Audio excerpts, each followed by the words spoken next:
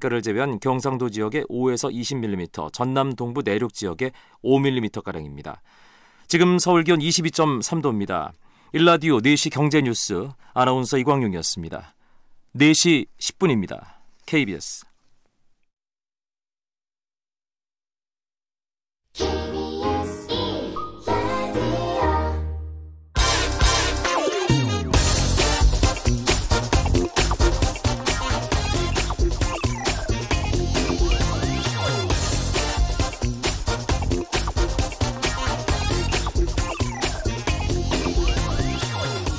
미국 와튼 스쿨 세계 최고 수준의 경영 대학원이죠. 여기에 필 테틀럭이라는 유명한 심리학자가 있습니다.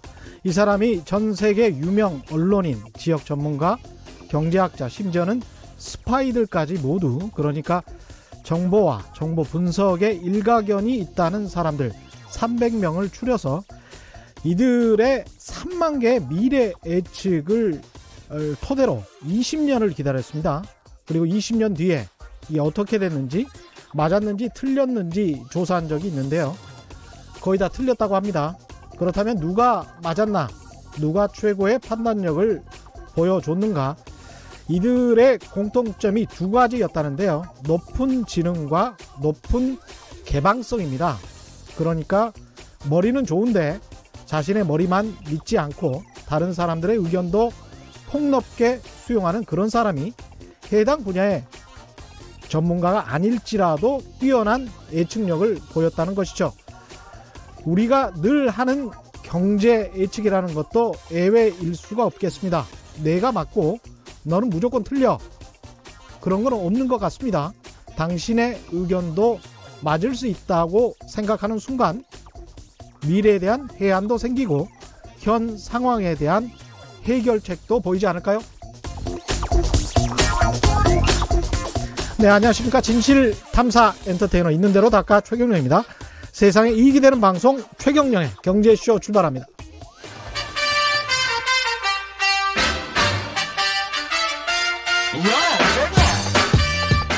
최경령이 원하는 건 오직 정의. 경제 정의를 향해 여러 걸음 깊이 들어갑니다. 최경령의 경제쇼. 네, 어려운 경제 이야기도 귀에 쏙쏙 재밌게 풀어주는 홍춘욱의 경제 이야기 시간인데요. 홍춘욱 EAR 리서치 소장 나오셨습니다. 숭실대학교 금융경제학과 겸임 교수시기도 합니다. 안녕하세요. 네, 안녕하세요. 반갑습니다. 아, 또 하나 빼먹었네요. 50대 사건으로 보는 돈의 역사의 저자이시기도 하고. 감사합니다. 최경영의 경제쇼 유튜브로도 함께 하고 계십니다. 안녕하세요. 환영하고요. 더 많이 들어와 주시고요. 오늘 브렉시트 이야기를 좀 하려고 하는데 그 전에 음. 어제 국무회의에서 대통령께서 어 문재인 대통령이 건설 투자 관련해서 여러 가지 이야기를 했는데 일단 신문들의 헤드라인만 제가 읽어보겠습니다. 한국일보는 건설 투자 확대, 문 대통령 건설 투자 확대, 경기 부양 카드 뽑다. 이렇게 제목을 달았고요. 동아일보는 문 대통령 소주성 소득 주도 성장 언급 없이, 언급 없이 투자 강조, 기업 투자 환경 마련을 하는 게 더 시급하다는 식으로 이야기를 했고요. KBS는 문 대통령 경제장관회의 직접 주제, 건설 투자 역할 강조 이렇게 해서 전반적으로 나온 키워드는 다 건설 투자 역할을 강조했다. 네. 이걸 가장 중립적으로 보면 될 것 같습니다. 한겨레 신문 같은 경우는 건설로 경기 부양, 친기업 우려도라는 약간 우려 섞인 제목을 부제목으로 음. 달았습니다. 어떻게 보십니까?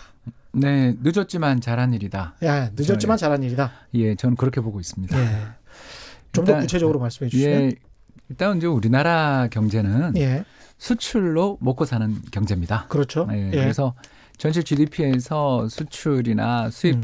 등이 대외 교육 부문이 차지하는 비중이 어떨 땐 뭐 100% 넘은 적도 있고 그렇죠. 작년에 너무 부진해져서 100% 음. 밑으로 떨어져 있지만 아무튼 우리나라 기업들은 어떤 걸 가지고 있냐면 국내 내수 시장에서 소화하기에는 너무 많은 생산 캐파를 가지고 있습니다. 아. 예, 다시 말해서 뭐 자동차 회사다. 예. 를 들어서 이렇게 이야기하자면 예. 어떤 자동차 회사가 100만 대의 생산 캐파를 가지고 있는데 음. 시장 국내 시장에서 100% 시장 점유를 하더라도 50만 대밖에 못 판다 라고 한다면 아주 단순하게 일목요연하게 말씀해 주시는군요. 그러니까 국내 소비 시장보다 훨씬 더큰 캐파를 가지고, 가지고 있다. 뭐. 홍성국 그 대표도 전 대표도 똑같은 말씀을 하셨어요. 사실 예. 과잉 공급이다. 네, 예. 그렇습니다. 근데 이제 과잉 공급이냐 아니냐를 판단하는 건 수출이 결정하는 거죠.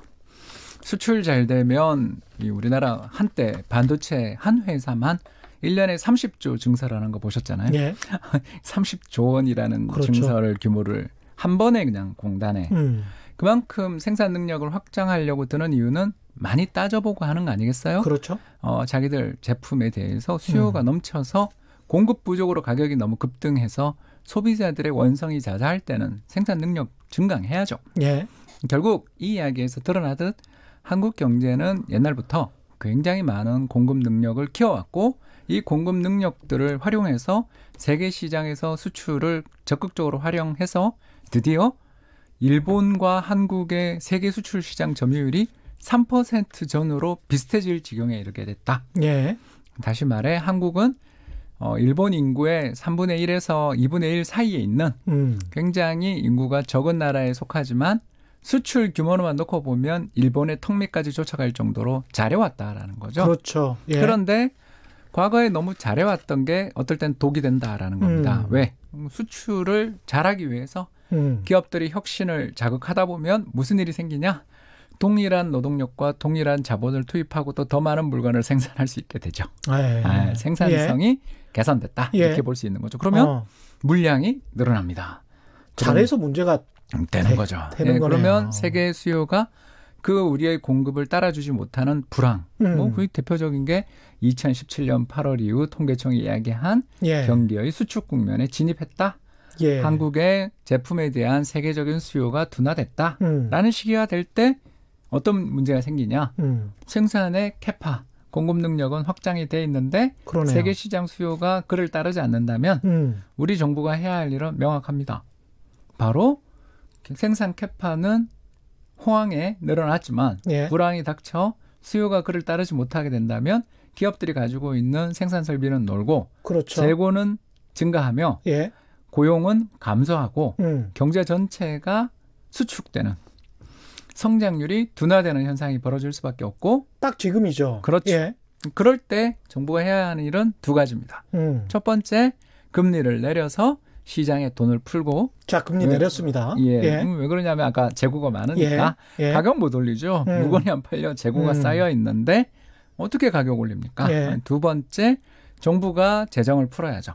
재정을 풀어야 된다. 예. 예. 왜냐하면 어, 금리가 굉장히 낮아요. 음. 금리가 굉장히 낮기 때문에 음. 정부가 재정을 풀어서 성장률을 조금이라도 올리는 순간 정부가 재정 적자를 걱정할 이유가 별로 없어지는 거죠. 그러네요. 왜냐하면 예. 이자율이 되게 낮기 때문에 음.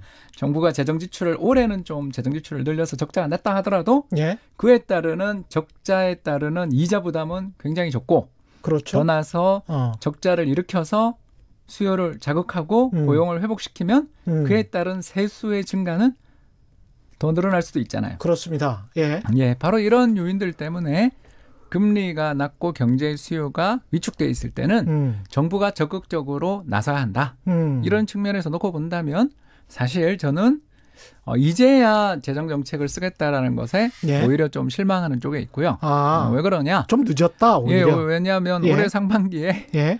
추가 경정 예산 편성이 기억나시지 않습니까? 아, 그렇죠. 예. 우리나라 예. 1년의 명목 GDP 규모가 뭐 그냥 약간 상향 이렇게 이제 올림을 음. 해보면 2천조 원 정도 됩니다. 예. 1,800조 원. 예. 예. 근데 이제 매년 커지고 있고 그렇죠. 그러니까요. 그렇죠. 예. 계산을 편하게 하기 예. 위해서 2천조에 가깝습니다. 예. 그러면 5조 원 뭐 이렇게 음. 하는 거는 이번에 이제 6조 원이었나요? 그렇죠. GDP의 0.3%인가요? 아무튼 너무 작다. 예. 그러니까 어 추가 경정 예산을 편성한 건 좋은 일이다. 아. 음, 좋은 일이죠. 예. 왜냐하면 성장률이 둔화되고 있을 때 음. 열심히 재정 지출을 늘려야죠. 예. 다만 올해 추가 경정 예산안은 그 정도 편성해서 되는 문제는 아니었다. 음. 음 그리고 더 나아가 작년 11월에 한국은행 금리 인상했던 거 우리 최 기자님 기억나시죠? 예, 맞습니다, 맞습니다. 아. 아, 이런 것들 더 나아가 음. 어, 얼마 전 어, 국회 그 예산 정책처에서 음. 발간한 보고서를 보니까 예. 지난 5년간 지난 5년간 한국의 SOC 사회 음. 간접 자본 관련돼 있는 정부의 지출은 5년 연속 감소해 왔다. 아니 어디 가보면 항상 뭐 공사하는 것 같은데 이게 SOC가 감소를 희한합니다 이게. 예, 그 전에 잘해왔었다. 어. 그 전에 충분히 많이 해왔었다. 그런데 지난 5년간 증세 속에 음. 2014년부터 전환이 있었잖아요. 예. 첫 번째가 2015년에 있었던 연말 정산 파동 잊지 예. 못하죠. 음. 두 번째 담배세 인상 혹시 기억나십니까? 담배세 인상. 예, 그렇죠. 세 예. 번째 어, 세계에서 거의 유일하게 법인세 인상했죠. 그랬습니다. 예. 네. 음. 네 번째 종합부동산세 강화했죠. 예, 그렇습니다. 예, 예 여기다가 어, 최근 들어서서 특히 양도세부터 시작해서 음. 각종 음. 이런 부동산 관련 세금들 더 강화했을 뿐만 아니라 음. 금융종합과세 한도를 4천만 원에서 2천만 원으로 내렸죠. 예, 그랬었죠. 그거는 예. 한 2, 3년 됐죠. 예.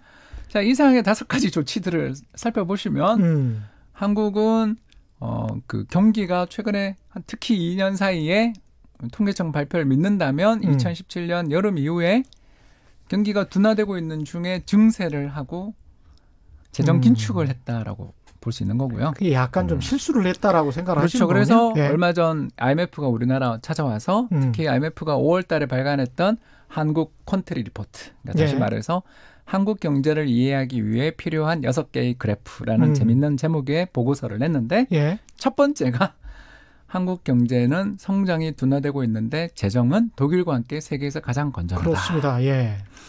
물론 뭐 건전하다 기분 좋죠. 예. 어, 신용 등급도 상향 조정될 수도 음. 있고 뭐 나쁜 일은 아닙니다. 예. 근데 우리나라 내에 돈이 넘쳐서 해외에서 자금 조달해야 될 필요도 없는 나라가 음. 됐는데 옛날처럼 그렇게 국가 신용 등급에 그렇게 목을 매야 되는가? 그렇죠. 국가의 우리... 재정은 건전한데 가계는 쩔쩔매요. 어, 경제 내에 예. 돈이 넘쳐서 금리가 떨어진 거 아닙니까? 그렇죠. 예. 그런 상황에서 또 1년에 GDP 대비 3에서 어떨 땐 7%에 이르는 어마어마한 무역 흑자를 기록하고 있어서 해외에서 음. 돈이 계속 유입돼서 외환 보유고가 부풀어 오르는 나라가 자꾸 뭐 건전성 건전성을 예. 이야기하는 거는 음. 약간 문제가 있을 수도 있다. 맞습니다. 이런 말씀을 드리고 싶습니다. 기획재정부가 오래된 어떤 그런 레토릭에서 좀 벗어났으면 좋겠다는 생각도 들고요. 근데 이제 이렇게 추가 경정 예산이 뭐 어렵게 국회에서 통과된다고 하더라도 이 돈을 그 조그마한 돈이라도 어디에 쓸지의 그 문제 어떻게 효율적으로 경기를 부양시켜야 될지 경제를 활성화시켜야 될지 거기에 관해서 좀 말씀해 주십시오. 어 바로 음. 어, 고용 유발 효과가 높은 곳에 돈을 써야 됩니다. 고용 유발 효과가 높은 곳. 예. 예. 어 이제 우리나라가 2017년 18년 반도체 호황이 있었습니다. 예. 그런데 경기는 2017년 하반기부터 나빴다고 아까 이야기했잖아요. 예. 어, 왜 그런가? 간단합니다. 어, 10억 정도의 매출이 증가를 하면 음. 예를 들어서 이건 비유입니다. 예. 정확한 숫자인지는 제가 몇 년 전에 봐서 음. 그렇지만 비유라는 것을 말씀을 드리고 예. 이야기하겠습니다. 반도체 쪽에서 매출이 10억 늘었어요. 예. 그러면 3명 뽑습니다. 3명? 네. 3명에서 예. 2명으로 기억하고 있습니다. 예. 아, 그런데 건설 쪽에 매출이 1000억, 아, 10억 늘었습니다. 예. 그러면 사람을 한 20명 뽑습니다. 어휴. 아, 예. 그리고 더 나가서 도소매, 물류, 숙박 이쪽 음식료, 숙박 음. 쪽에 매출이 10억 늘고 그러면 음. 그보다 또더 더 뽑습니다. 그래요? 그러니까 어. 이런 것에서 알 수 있는 것처럼 음. 2016, 17, 18년 사이에 있었던 우리나라의 반도체 호황 당시 성장률은 되게 좋았는데 예. 고용이 그때 별로 안 좋았던 거 기억나시잖아요. 그렇죠. 왜 그랬나 물으면 예. 반도체와 석유화학과 뭐 예. 이런 굉장히 장치 산업의 예, 장치 산업이자 예. 고도화돼 있는 설비를 음. 가진 그러니까 여기서 필요로 하는 인력들은 당연히 고임금 인력이지만 많이 뽑지는 않은. 그렇죠. 음, 네. 그런 쪽에 호황이 발생했었던 네. 거라고 볼 수 있겠고요. 반대로 음. 올해는 전에도 얘기했지만 음. 고용률이 올라간 음. 그런 측면도 있었지만 외국인 관광객들 오면서 도소매 숙박, 음식료, 뭐 예. 물류 이런 쪽에 음. 상대적으로 고용 유발 효과가 높은 산업에 좀 경기가 아주 나빴다가 예. 최근에 조금 이제 정말 죽다 살아나는 예. 그런 것들도 약간은 기여했다라고 제가 지난번 방송에 말씀드린 음. 게 예. 그런 고용 유발 효과라는 좀 어려운 용어가 예. 그 뒤에 배경으로 자리 잡고 있다고 볼수 그러니까 있습니다. 정부가 이번에 SOC 도로나 뭐 철도 이런 쪽에 집중적으로 투자하겠다. 이거는 지금 맞는 방향으로 보시는 겁니까? 예, 여기에다가 또 기업의 R&D 관련 지출도 2년 연속, 그 전에 3년 연속 감소하다가 음. 이번 예산안으로 보면 이제 2년 연속 예. 증액을 했고요. 예. 그래서 이제 세부 항목을 저희들은 다 열어다 보는 입장이니까 그렇죠. 예. SOC는 계속 줄여 나가다가 이제 음. 증가로 처음 돌아섰다라는데 의미를 부여할 필요가 있겠고요. 예. 예두 번째 어, 기업의 R&D, 음. 리서치 같은 이런 쪽. 예. 뭔 미래? 그러니까 경기만 잠깐 자극해봐야 뭔 소용이 있어요, 그죠? 그렇습니다. 경쟁력을 예. 강화해야 펀더멘탈이 좋아져야죠. 그렇습니다. 예. 정부의 지출은 음. 지금 현재 경기를 부양하는 것뿐만 아니라 예. 장기적으로 우리 한국이라는 나라 한민족이 먹고 살 거리, 먹거리를 만드는 것도 함께 돈을 써야 됩니다. 음. 그래서 이 둘 다 어, 내년 예산안은 일단 계획만 보면 음. 어, 증액으로 상당히 큰 폭의 증액이 물론 예. 그 전에 감수 안 했으면 좋았겠지만. 그렇죠. 예, 이렇게 예. 볼수 있겠습니다. 강선모님은 약간의 반론을 해주셨습니다. 건설 고용 유발 효과가 예전만 못합니다. 외국인이 많기 때문에 인프라 쪽은 찬성합니다. 이렇게 말씀하셨네요. 어, 정답이죠. 예. 어, 사실 우리나라에 외국인 근로자들 예. 하시는 것처럼 예. 200만 명을 넘어섰다라고 제가 그 한번 말씀드린 바 있었죠, 예. 그죠? 그리고 중국인과 몽골 네, 몽골 분들도 많고요, 예. 베트남 분들도 많이 음. 들어오고요, 방글라데시 등등 아무튼 우리나라 어, 남쪽 예. 다시 말해서 어, 동남아시아, 남아시아 쪽 분들이 굉장히 많이 유입되는데 예. 이유가 두 가지 있다고 제가 말씀드렸죠, 그죠? 예. 예. 첫 번째는 기업들이 이제 힘든 일을 음. 좀 하고 하는데 저임금 쪽에 그렇죠. 네. 아무래도 우리나라 전체 그 학생들 80% 70%가 대졸자인데 음. 내가 이렇게 많은 교육 투자를 했는데 내가 그런 저임금 일자리 6천 노동 일자리 가야 돼 라며 음. 그분들이 미스매치 맞습니다. 공사에서 예. 공시종만 200만이다. 음. 이 말씀을 드렸고. 단순 노임이 하루에 아직도 그분들한테 외국인 노동자들한테는 10만 원 정도라고 제가 들었어요 현장에서. 맞습니다. 예. 그게 10년 전, 20년 전하고 똑같은. 거의 비슷합니다. 예. 예. 이제 두 번째 어, 최근에 이제 조금 올라갔어요. 음. 바로 52시간. 예. 그리고 예, 최저임금 인상 예. 등으로 한국에서 일하는 인센티브랄까요? 음. 한국에서 일하는 것에 매력이 더 높아지고 있다. 예. 최근에는 지난 2년을 놓고 보니까 음. 매년 약 15만 명 이상 더 매년 순유입이 15만 명 이상 늘어나고 있다. 아. 네, 그래서 지적은 맞으십니다. 그러나 어, 표현이 좀 적절한 표현인지 모르겠습니다만 예. 구덕이 무서워 장 못한 거랴 예. 이런 옛날 속담이 음. 있듯이 뭐 제가 외국인이 어, 외국인 근로자가 뭐 그런 음. 다라는 것이 아니라 음. 다수의 부작용은 있을 수 있습니다. 예. 그러나 경제 전체의 정책에서 놓고 보았을 때 음. 지금 현재 성장률이 둔화되고 특히 IMF가 우리나라 성장률을 2.0으로 아주 큰 폭 하향 조정했잖아요. 예. 어제죠. 그렇죠. 그러니까 그런 이런 급격한 성장률의 하향 조정이 나타날 때는 음. 일단 돈을 특히 고용을 즉각 유발할 수 있는 곳에 음. 집중적으로 할애를 해야 한다. 아, 요 대전제에서 놓고 볼 때는 음. 그래도 긍정적인 면이 더 많다. 이렇게 평가하고 싶습니다. 0298님은 전문가의 모든 훌륭한 경제 정책이 정치의 저급한 수준 때문에 무력해진다. 세계적인 경제학자가 와도 아, 야당의 발목 잡기는 바보가 됩니다. 모두가 알고 있지만 전문가들이 기득권에게 찍힐까봐 슬슬 피해가기 때문입니다. 참 시 청취자 여러분들이 상당히 많이 알고 계시기 때문에 요즘은 뭐 거짓말을 하지 못할 것 같습니다. 예. 여러 가지로, 예. 정치와 경제가 또 한꺼번에 또 묶여져 있죠, 사실은 또. 예. 어, 뭐, 오늘 이야기할 브렉시트가 대표적인 거 아니겠습니까? 예. 다른 이야기 좀 해보죠. 이제 박선식 님은 건설 경기는 풀어줘야 합니다. 도, 동생도 건설 쪽에 있는데 너무 안 풀어서 힘들다고 하네요. 이런 말씀 하셨고요. 6464님, 자영업자 부채를 제외한 가계부채 1,600조 음. 해결되지 않는 한 고용과 소비가 될까요? 이 질문도 참 여러 번 나옵니다. 어떻게 생각하십니까? 음, 이건 다음에 기회를 한번 주십시오. 예. 다음에 본격적으로 좀 예. 다뤄보겠습니다. V29H님, 추가 경정 예산이라고 다 좋은 것도 아니고 필요한 분야에 효율적으로 세금을 써야 합니다. 방금 홍준욱 박사께서 말씀하신 내용이고요.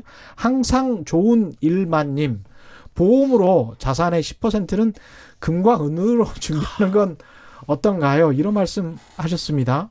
네, 예. 저는 뭐 소액을 갖고 있는 건 나쁘지 않다. 소액을 갖고 있는 것 예. 개인 자산 측면에서 예, 뭐 예. 누차 말씀드렸던 것 같은데 오늘 음. 그래도 기회가 왔으니까 조금 더 설명을 드리자면 어, 우리는 한국에 살고 있잖아요. 예. 그리고 저의 소득도 원화, 한국의 원으로 수취하고 있고, 예. 저의 미래 국민연금도 원으로 받습니다. 음. 예, 그리고 사업이나 미래의 자산, 소득 이런 걸 전부 다 원으로 관리를 하고 있다라는 것은 좋게 생각하면 예. 우리 경제 아주 잘 나가면 음. 어, 제 직장도 튼튼해지고 매출도 올라가면서 미래 제 연금도 튼튼해집니다. 음. 그러나 사람의 희망대로 10년, 20년 계속 돼갈 수는 없고 예. 결국 한 번씩은 좀 어려움을 겪는 게 세상 일인데 음. 안타깝게도 그때 내가 은퇴하고 그때 내가 만약에 나이가 예. 들어서 회사에서 가장 위험한 위치에 있을 때 그런 일이 벌어지면 음. 이게 참 큰일 나게 됩니다. 그렇죠. 네, 그리고 또 자산도 전부 다 원화로 가지고 있었다면 그런 불황이 닥쳤을 때 원화의 가치가 떨어지고 음. 주가라든가 뭐 부동산 가격이 떨어질 때 은퇴를 하게 되면 이게 양쪽에서 다 큰 공경에 처하겠죠.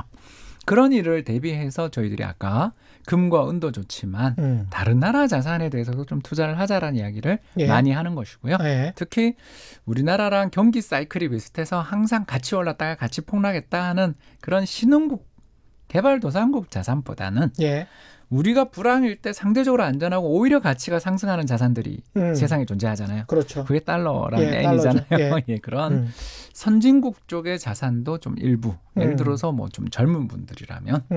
음, 자산에서 좀 많은 부분을 예. 해도 될 것 같고요. 예. 반대로 좀 나이가 드시는 분들이라면 이제 점점 점점 비중을 적절하게 조정해 가는 게 좋겠죠. 음. 아무튼 어, 이런 어, 금과 은도 좋지만 어, 왜냐하면 금과 은은 비용이 조금 많이 그렇죠. 들. 예. 예. 그래서 어, 금과 은에 못지않게 불황의 강한 상승, 가치 상승을 보여주며 음. 또 자산의 가치를 보존하는데 상당히 좀 특화되어 있는 음. 그런 자산이라 할 수 있는 달러라든가 엔이라든가 또는 스위스 프랑이라든가 음. 등등 선진국 통화로 돼 있는 안전한 자산들에 대해서 투자에 관심을 가지시면 좋겠습니다. 그러나 이번에 어, DLF처럼 음.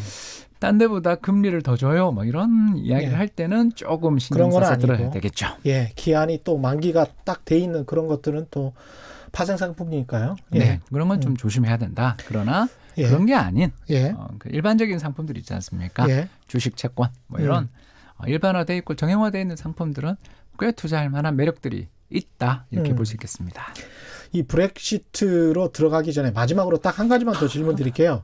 이 관련해서 우리가 투자를 해야 되는데 정부가 투자를 해야 되는데 지역 경제 활성화라는 명분이 하나가 있고 그렇죠. 그다음에 이제 수도권으로 집중이 돼 있는데 수도권에 투자를 하면 훨씬 더 효율성이 높아지고 음. 고용도 고용 유발 효과랄지 경제적으로 효율성이 커지는 측면이 좀 있을 것 같습니다. 그러면 네. 이 두 가지 측면 중에서 어떤 균형을 맞춰야 되는지 음. 어디에 더 투자를 해야 될 것인지 지금 상황에서는 저는 효율이라 봅니다. 효율이다. 네. 예. 어, 다시 말씀드려. 예. 어, 사람들이 집중돼 있는 곳에 음. 음, 거기다가 일자리를 만들어 놓으면 예. 또 실업자가 많은 곳에 음. 일자리를 만들어 놓으면 다르게 표현했습니다. 예. 예. 그렇죠. 도시에 실업자가 더 많잖아요. 그렇죠. 예. 예. 어, 그 이야기였고요. 그래서 예. 이 그런 곳에 일자리를 많이 만들어 놓으면 어, 그 실업 상태에 있다가 고용을 하게 되는 순간 이 사람은 벌어들인 돈의 상당 부분을 다 쓰죠. 쓰게 돼요. 왜 어. 그러냐면 빚이 있을 테니까. 아, 아 그렇잖아요. 네, 그러면서 네. 건전해지고 자산도 건전해지고 금융시장도 건전해지고 어. 그러면서 이 사람의 돈의 지출이 대부분 다 바로 소득의 대부분을 지출을 하거나 빚을 갚는 데 쓰게 되고 예. 소, 소비를 하게 되는 식으로 하니까 예. 그 효과가 경기 부양 효과가 확실하게 나타나게 되겠죠. 아. 그래서 일자리가 곧 복지다 이런 이야기를 저희들이 많이 하는 그렇죠. 것이고요. 음. 그렇게 해서 그분이 일자리를 갖게 되면 당연히 음. 갑근세도 걷고 음. 이분이 매출을 또는 소비를 일으키면서 음. 부가가치세도 걷고 그렇죠. 어, 그렇죠. 어. 그리고 은행도 뭐 건전해지고 이러는 음. 과정에서 세금을 걷어서 아까 말씀드린 것처럼 음. 지역 균형 발전을 위해서 돈을 좀 쓰는 것도 예. 재원도 생기고 그럴 예. 수 있겠죠. 그러나 어, 이런 급박한 경기의 어떤 위축 위험에 음. 맞서서 경제가 너무 나빠지는 것을 막고 음. 심리가 특히 최근에 위축되잖아요. 네, 이런 심리의 위축을 막을 만큼 음. 단호한 어떤 정책의 집행 이런 걸 위해서는 음. 아무래도 보는 눈이 많고 음. 또 실업자도 많고 예. 어, 또 여론이 집중돼 있는 그런 지역에서부터 집중적으로 사업을 일으키고 그리고 어, 효율을 추구해 나가는 정책들을 쓰는 게 맞는 방향 아닐까 생각합니다. 어떻게 보면 이제 국회의원들 이게 정치 경제학이기 때문에 국회의원들 그 선거나 이런 것도 계산을 해서 뭐 섬과 섬 사이에 다리를 몇 천억 들여서 놓는달지 뭐 이런 것들이 얼마나 경제에 효과적인가 이런 거는 또 냉철하게 따져봐야 그렇죠. 되겠습니다. 그렇죠. 예, 예. 그 이제 이런 문제들 때문에 음. 어, 예비 타당성 조사 예. 예타라는 것을 하는데 이런 예타에서 사실 통과되기 어려운 것들이 또 음. 어, 다양한 이유들로 인해서 통과되고 사업이 집행되는 경우들도 있고 그렇지 않습니까? 그렇죠. 세상 예. 일이라는 게 예.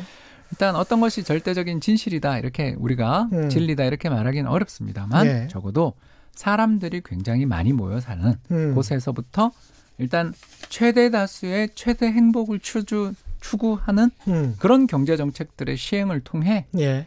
경제를 다시 회복시키고 일단 파이를 그렇죠 예. 파이를 키우면서 음. 또 정부가 그 돈을 갖고 그렇죠. 재분배 정책을 적극적으로 사용하면 될 일 아니냐라는 음, 세수가 많아지면 그렇습니다. 뭐 우리나라 네. 아까 말씀드린 것처럼 음. 다섯 군데나 세금을 거둘 음. 망을 촘촘하게 만들어놨기 때문에 성장률만 올라오면 아. 세금은 자동으로 잘 거치는 그런 환경이 만들어져 있다라는 네. 것을 추가로 덧붙이고 싶네요. 아무래도 요새 그 홍춘욱 박사께서 책이 잘 팔리기 때문에 세금을 좀 많이 내서 약간의 불만이 있으신 것 같습니다. 예, 그 날카로우시군요. 예, 브렉시트 브렉시트 이야기로 넘어가죠. 보리스 존슨 영국 총리 네. 이야기부터 하지 않을 수 없는데요. 네. 이분의 특성을 좀 이야기를 좀 해주시면서 브렉시트 이야기를 좀 정리해 네. 나가도록 하겠습니다. 뭐 역사의 예. 모순이자 아이러니인데요. 네. 네, 이분이 어, 2016년 어, 영국이 유로존에서 음. 유럽에서 이탈하는 국민 투표 브렉시트죠. 어, 브렉시트를 주도했던 사람입니다. 아. 예, 그래서 결자 해지하고 있는 중입니다. 음. 어, 어, 정말 말 그대로 그때 당시 가장 강경하게 예. 브렉시트를 해야 된다라는 그런 어떤 운동을 주도해서 예. 실제로 브렉시트가 벌어진 다음 경제 음. 충격이 벌어지는 과정에서 사실상 또 책임을 좀 회피하는 듯한 행동도 보이다가 예. 어, 존, 그, 메이 총리가 여러 차례 그, 어, 브렉시트 관련된 후속 대책들을 만드는 안들을 올렸다가 다 부결되고. 그랬죠. 누구도 이제 대안이 없는 상황에서, 음. 어, 보리스 존슨, 새로운 총리가 임명돼서 지금 이제 10월 31일 마지막 이제 시한을 앞두고 음. 이제 노딜 브렉시트라고 해서요. 네. 아무 대책 없이 영국이 유로존을 이탈하는 걸 노딜 음. 브렉시트라고 그렇죠. 하는데 그렇죠. 그 노딜 브렉시트의 이제 시한이 불과 이제 보름 보름도 이제 안 남았거든요. 12일 앞으로 다가온 이 상황에서 유럽 정상회담을 앞두고 음. 지금 협의를 해서 일단 초안에 예. 동의를 받았고 음. EU 정상들은 그래 이거 마음에는 안 들지만 그래도 파국을 막을 수 있다라는 측면에서는 음. 찬성하면서 EU 정상들은 일단 찬성을 했는데 예. 이게 이제 영국 의회를 통과해야 된다라는 이런 문제들은 오늘 밤 내일 새벽 사이에 또, 또 남아 있다라는 건 알고 이 방송을 들어주시면 감사하겠습니다. 영국 의회가 그 번번이 부결시켜 가지고 이번에는 어떻게 될지 모르겠습니다. 어, 거기 정치 지형이 예. 복잡해진 게 예. 스코틀랜드 독립 문제 그리고 북아일랜드 당 그리고 그렇죠. 또 어, 영국의 잉글랜드 지역 예. 이런 지역들로 이 지역 당들이 되게 많고요. 음. 그 지역 당들의 이해관계에 따라 브렉시트에 대해서 굉장히 다른 태도들을 보여주기 때문에 이 과반수 얻기가 참으로 어려운 그런 여건이다라고 볼 수 있겠고요. 뭐 가장 예. 대표적인 게 어, 보수당이 지금 정권을 잡고 있는데 왜 그러면 어, 사회당, 노동당이 음. 영국 노동당이 그 전에 토니 블레어의 노동당이 왜 다수당이 못 됐냐 그러면 예. 그 당이 원래 스코틀랜드 지역에서 굉장히 지지율이 높았다고 해요. 음. 그러니까 북부, 영국의 예. 북부입니다. 근데 그 지역 정당인 스코틀랜드 독립당이 부각되면서 음. 거기서 의석을 대부분 다 잃어버리는 과정에서 예. 어, 노동당이 선거에서 요새 번번이 지고 있는. 예. 그러니까 이런 여러 가지 정치적 지형들, 분리된 음. 정치적 지역, 지역주 이런 것들이 굉장히 강한데 특히 오늘 이야기의 핵심적인 주제는 예. 북아일랜드 문제가 될 수밖에 없는 것 같습니다. 그러네요. 이 일단 북아일랜드 문제로 넘어가기 전에 브렉시트가 하긴 할 거 아닙니까? 노딜 브렉시트든 브렉시트든 어, 예, 간에. 그러니까 노딜 브렉시트라는 건 예. 아무런 대안 없이 그냥 나가는 겁니다. 그렇죠. 음, 근데 이제 아무런 대안 없이 나가게 되면 영국이 이제 큰일 나게 되는 예. 거고요. 어, 참고로 그 영란은행이라고요. 영국의 중앙은행이 어, 노딜 브렉시트 아무 대책 없이 영국이 그냥 어, 유로존을 이탈하게 되면 음. GDP가 한 4% 정도 감소할 거다라는 4%? 예. 거의 뭐 2008년급 불황이죠. 와. 예, 그러니까 이게 심각한 거죠. 이게 심각하네요. 네, 왜 그러냐 하면 예. 일단 그 영국이 EU 있는 다른 나라들과의 영내 무역 비중이 몇 퍼센트냐면 49% 전체 수출에서 절반을 야. EU 국가들하고 어. 특히 뭐 농산물부터 시작해서 각종 생필품은 음. 영국이 그 농사가 잘 안 되는 지역이잖아요. 예. 그래서 다 수입하는데 이제 그 관세도 붙어야 되고 통관도 이제 시간이 엄청 걸리게 음. 됐죠. 두 번째가 또 뭐냐 하면 영국이 유일하게 보면 영국산 made in UK 자동차가 거의 없는 세상이 됐잖아요. 예, 그렇습니다. 롤스로이스나 예. 뭐 어, 미니 같은 이런 차들이 우린 영국차로 알고 있지만 사실은 음. 사실은 독일차거든요. 아, 그렇군요. 독일 브랜드에게 다 예. 팔렸죠. 그래서 이 제조업이고 뭐고 이렇게 어, 굉장히 경쟁력을 잃어버린 상황에서 음. 금융이 거의 유일한 먹거리. 그래서 영동 런던의 시티라는 지역이 음. 맞습니다. 유명한데 예. 전체 EU 지역으로 유입되는 외국인 투자의 무려 20.2%가 영국을 통해 들어간다. 아, 20%가 영국이 어, 일종의 게이트웨이, 관문 역할을 음. 해주는 거죠. 그런데 2등 어, 유럽 지역으로 들어가는 외국인 직접 투자나 이런 투자의 음. 두 번째 대상이 어디냐? 네덜란드인데 거기가 겨우 9%. 아. 그러니까 한마디로 말해서 예. 영국은 유럽 옆에서 통화는 또 파운드를 쓰잖아요. 예. 그래서 그렇죠. 다른 통화를 쓰면서 유럽에서 잘 옆에 붙어 있다는 그 음. 지리적 위치와 어떤 역학관계 등을 이용해서 그동안 어떻게 보면 유럽을 잘 활용해서 어. 잘 뜯어먹었다고도 볼수잘 있는 뜯어 먹다가 좀 덜 뜯어 먹게 생기거나 좀 불리하니까 지금 나가는 거 아니에요? 아니 불리하지도 않았어요. 불리하지도 않았어요? 사실은 예. 어, 보리스 존슨 같은 사람들이 선동하긴 했지만 음. 어, 영국이 분담금을 내는데 인구에 따라 뭐 그렇죠. 분담금을 내고 예. 하는데 영국 사람들이 또 EU로부터 받는 것들도 굉장히 많았기 때문에 그게 음. 꼭 일방적인 영국이 정말 EU 가입해서 큰 피해를 봤다라고 볼 만한 증거들은 거의 없는 상황이었었어요. 음. 결국 이번 브렉시트는 아까 말씀드린 보리스 존슨 같은 저희들이 보기에는 파퓰리스트들 예. 어,의 선동이 제일 컸고 두 번째가 폴란드 사람들을 중심으로 한 폴란드 사람들이 런던에 굉장히 예. 많다는 거 아시죠? 예. 이 폴란드 사람을 중심으로 한 외국인들의 비중이 경제 내에 굉장히 높아지면서 음. 특히 농촌 지역을 중심으로 해서 예. 자신의 전통 문화와 다르면 카톨릭이니까 그렇죠. 그런 사람들이 자기네 마을에 자기네 동네에 너무 많이 유입돼서 자신의 정체성들을 잃어버리는 거 아니냐.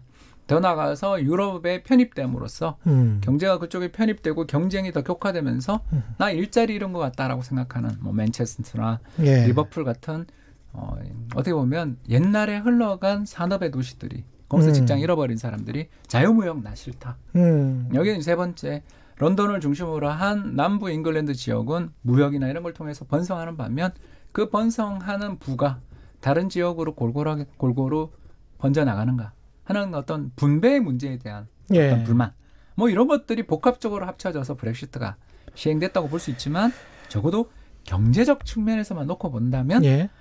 어 그 브렉시트는 일종의 자살행위였다. 그리고 실제로 영국 파운드화의 가치는 음. 브렉시트 직후 그 불과 뭐 한 두 달 사이에 15% 떨어졌다. 브렉시트를 선언한 직후부터 예, 그 말은 예. 뭘 뜻하느냐?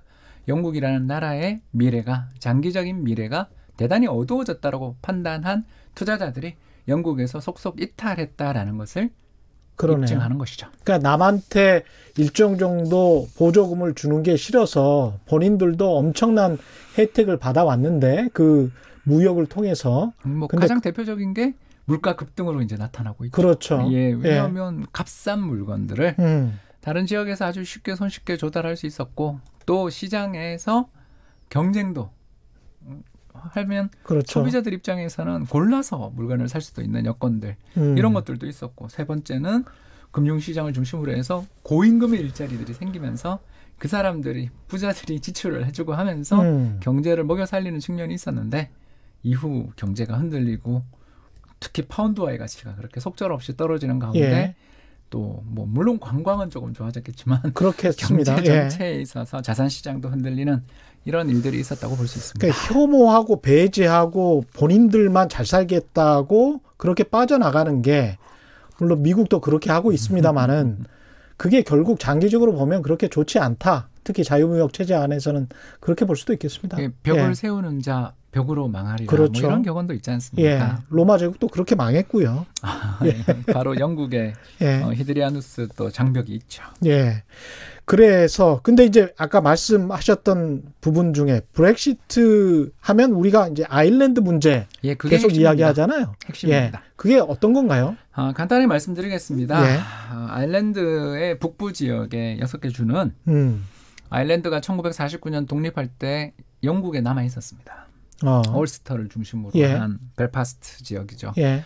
어, 이 지역이 이제 남아 있게 된 이유는 수백 년, 약 350년 이상으로 기억하는데 음. 긴 세월에 걸친 어, 영국의 잉글랜드의 아일랜드 지배 과정에서 음. 영국 사람들이 북아일랜드 지역에 굉장히 많이 살고 예. 더 나가서 아일랜드 사람들은 가톨릭을 믿고 있는데 음. 그 북부 지역 사람들의 상당수가 성공회.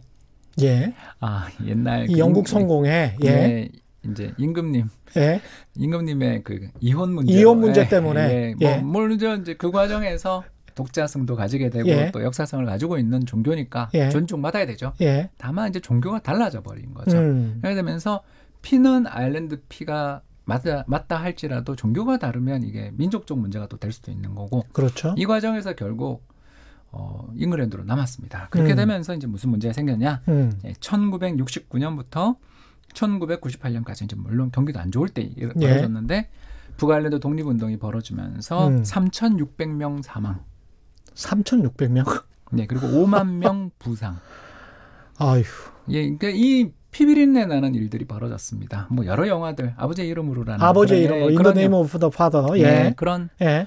유명한 영화들이 이걸 다 다뤘고요. 특히 예. 그 런던의 교도소에 수감됐던 아일랜드의 이제 테러리스트들 예. 또그 북아일랜드 사람 입장에서 본다면 독립운동을 하시는 분들이 예, 단식으로 수십 명이 그 아버지 이름으로는 무고하게 그렇게 고문당했던 사람들이잖아요. 그거는. 근데 이제 예. 감정이 예. 3,600명이 죽는데 그렇죠. 양쪽 다 얼마나 격앙되겠습니까? 그렇죠. 저는 그렇게도 볼 수 있다고 예. 생각하고요. 예. 그러니까 누가 하나가 악마다, 음. 누가 하나가 나쁘다라고 단정짓기에는 어려운 역사적 배경이 뒤에 있는데 이제 그 음. 이야기를 오늘 좀 설명을 드리려고 합니다. 예. 아니, 바로 뭐냐하면 아, 감자 기근에 대해서 음. 아, 유명한 역사적 사건인데 음. 제가 감자 기근에 대해서 말씀을 드리겠습니다. 예. 어, 17세기, 18세기경 1600년에서 1700년경 유럽의 감자가 보급됐는데 예.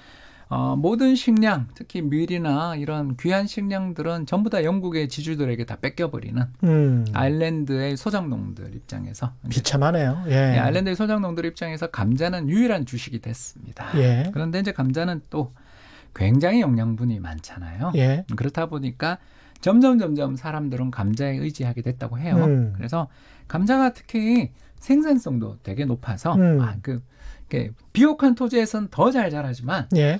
그 밀을 심어야 되잖아요. 그래서 아. 밀을 심기 어렵고 또 밀의 수확량이 잘 나오지 않는 음. 경사면을 비롯한 또 비가 잘 예. 어, 이렇게 잘 안 오는 음. 또는 저수지로부터 멀리 떨어진 그런 토지들까지도 이걸로 부양이 가능했다라는 게 감자의 가장 큰 그렇군요. 매력이었다고 해요. 예. 예. 그러다 보니까 감자는 또 열량도 되게 높잖아요. 음. 음 그렇게 되면서 이제 어, 어떤 일들이 벌어지게 됐는지 제가 간단히 설명드리자면 예. 1820년만 해도 잉글랜드 그 아일랜드 인구가 한 700만 600만 또 어, 1700년대에는 200만 정도였던 게 예. 어, 피크가 됐던 1841년 그 파국의 그 해인데요. 예. 그 해에는 800만이 넘었다고 합니다. 800만 명. 네, 그러니까 예. 가톨릭이 또 음. 낙태나 이런 그렇죠, 거에 대해서 그렇죠. 또 금지하고 있고, 있죠. 금지가 예. 있었고 또이 음. 아일랜드 사람들 자체가 가족주의적인 음. 문화가 있어서 조혼, 젊어서 일찍 결혼하는 음. 문화들도 있었던 것 이런 예. 것들이 어, 이런 폭발적인 인구 증가를 유발했대요. 아무튼 음. 200만이 한 100년 조금 넘는 시간에 200만이 800만 됐다. 아. 네, 이제 그렇게 됐는데 어, 1841년 이제 끔찍한 병이 번졌습니다. 바로 음. 감자 입마름병이 예. 번지기 시작했던 것입니다. 예. 그래서 순식간에 대기근이 시작돼서 음. 감자의 수확량이 급격히 감소하기 시작했습니다. 음. 아, 감자 마름병은 어, 이 1845년에 완전 치명적 피해를 41년에 들어와서 예. 45년에 치명적 피해를 줬고 특히 46년은 어, 끝장을 냈다라는 표현을 할 정도로 음. 거의 모든 감자밭이 소용이 없어져서 음. 1946년에서 47년 사이에는 특히 사람들이 빈곤할 때 전염병이 돌죠. 티푸스가 아, 대유행을 예. 일으켜서 어마어마한 대유행을 일으키면서 1841년 820만 명의 인구였는데 예. 그로부터 60년이 지난 1901년에 잉글랜드 인구는 저 아일랜드 인구는 450만 명으로 사, 거의 절반이 예. 아, 이것도 회복된 거였다고 합니다. 아. 그래서 이제 케네디 고 케네디 대통령을 비롯한 예. 어, 그 미국의 아일랜드계 이민자들이 음. 대거 집중된 이유가 음. 바로 1841년부터 시작됐던 치명적인 기근, 음. 아일랜드 감자 대기근이라고 역사에 남은 예. 이 끔찍한 사건으로 아일랜드계 이민자들이 그렇게 음. 이름 앞에 뭐 오나 맥 이런 예, 붙었던 예, 분들이 예. 또 케네디 뭐 이런 음. 분들 물론 이제 스코틀랜드계들이 아일랜드에 와서 또 이민하신 분도 그렇죠. 많고 합니다만 예. 100% 아일랜드계라고 제가 말씀을 못 드립니다만 음. 아, 그런 분들이 많았는데 문제는 더 심각했던 것은 음.